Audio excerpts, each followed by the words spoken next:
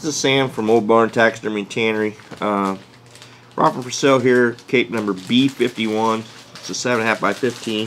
We grade this as our commercial plus uh, capes, and what commercial plus is to us, are you know they're they're really a nice cape. I mean they're going to make a really nice commercial mount. Some of them are borderline, could probably be used as a as a competition cape, especially in the uh, professional division.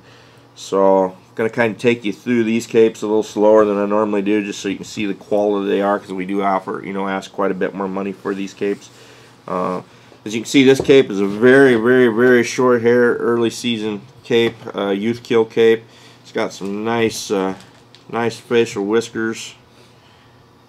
It's got a beautiful muzzle. This guy does have uh, some kind of a sore, and it's, it's behind the right ear.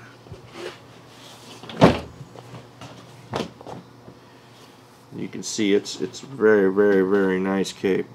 Ears are pretty clean, no no holes and stuff in the ears. I think if I remember right on this cape, he had must have run into like a piece of barbed wire or something.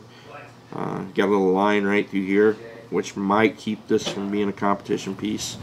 Uh, not for sure if it would matter maybe in in the professional division at all, but you can see the the guard hairs. It's just just a beautiful cape.